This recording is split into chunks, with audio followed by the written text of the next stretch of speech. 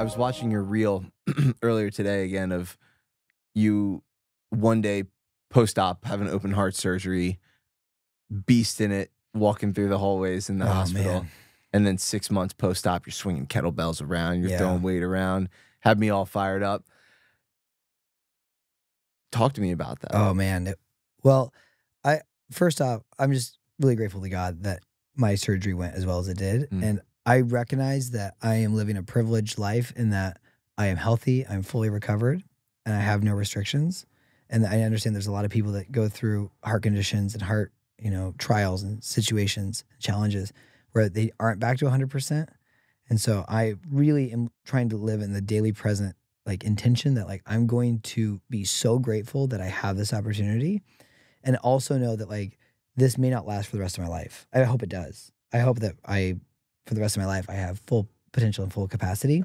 But I'm so aware that it, this could go away at any point in time, which is also one of the drivers for me working as hard as I do and working so hard on the things that I'm passionate about because I recognize that I may not always have this much energy or this ability to go as hard as I do.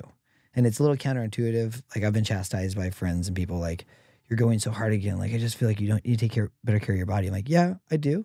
But I again, I'm the endurance athlete of events. Like I I know how to check in and like right now I get to do this and no one's gonna take that from me. Like I get to do this and that's where I'm at. Mm. So going into the surgery, I'll give you the quick version.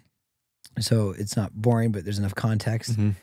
The context is I was born with a heart condition, a, a bicuspid valve, meaning there's only two leaflets. There should be three. I had two on my aortic valve. So it's it, instead of having three, there's two leaflets.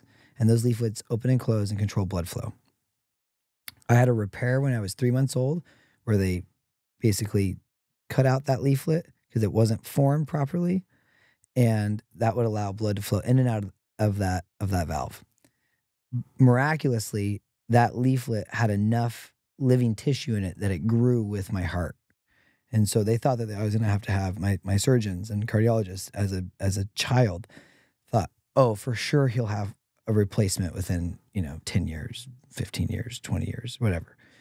Um, and so my entire childhood, I grew up being told like you're gonna have to get this thing replaced. Like, you know, just expect another heart surgery, like kind of priming me for that.